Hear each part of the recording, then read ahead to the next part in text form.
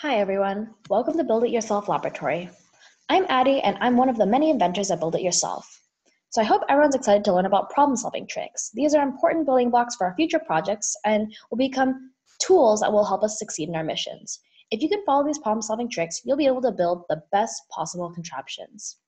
So the first problem solving trick is to identify the problem. Can somebody read the dark text at the top for me? Identify the problem, set goals. Perfect. Now, can I get another volunteer to read the large paragraph? Um, I'll stop you about halfway through. Yada yada yada, babble babble, hiss, hee haw, talk talk talk, gobble gobble, oink build, yada yada, babble babble, hiss, hee haw, talk talk talk, gobble gobble, oink a machine, yada yada, babble babble, hiss, hee haw, talk talk talk, gobble gobble. Um, that's good. You get the point, right?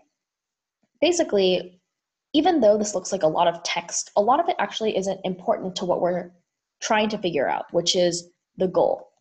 And instead, can I get someone to summarize what they think the goal of this problem is, this imaginary problem? Uh, yeah, build a machine that earns money. Perfect, right? So even though this is a full paragraph of text, we really only care about a few word, a few words, and that's the main goal of this problem. And being able to simplify the problem into a goal like this is a first step in being a great problem solver. So we need to be able to sift through a big wall of text, figure out what's important, what's not, you know, what's kind of useless to us, and identify the main problem. So the second problem solving trick is research. Can I get someone to read the slide here?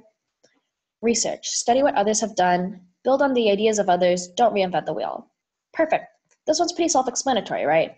Uh, we don't want to be doing redundant work or work that already exists. You know, it's not a good use of our time to, like the slide says, reinvent the wheel, right? If it already exists, let's just build off of what already exists. So, you know, using this logic, we should build on the ideas of others and share our own ideas so others can build off of them. Now we have the third trick, um, and this is related to the other one. Can someone also read this slide? Organize a hotshot team build teamwork. Exactly. So it's all about teamwork. People can always accomplish more in collaborative groups than they can by working alone. Everyone has different strengths and weaknesses, so a group of people can bring different strengths and make up for each other's weaknesses to be a stronger group overall.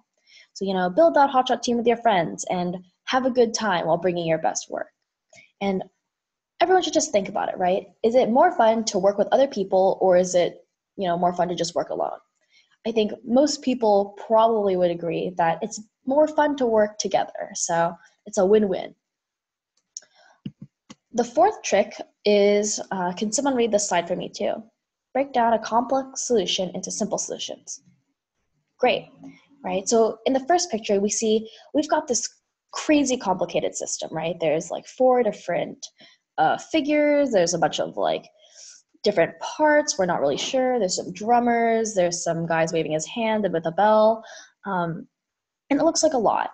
But if we break down this complex solution into the simple solutions, right? Individual levers, we have gears, we have pieces. Um, each part is easy to build, right? Um, it's a lot easier to understand, and then the larger solution doesn't seem as overwhelming. So remember that you can tackle a complicated looking solution piece by piece.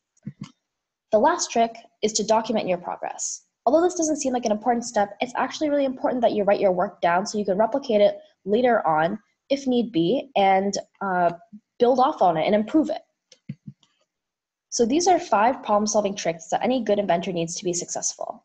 And let's practice a last skill documentation by writing these five skills in our lab books. I'd like everyone to make a new page in their lab books and put these five down so we can always look at them when we need a reminder. Thanks so much for listening, everyone, and happy building.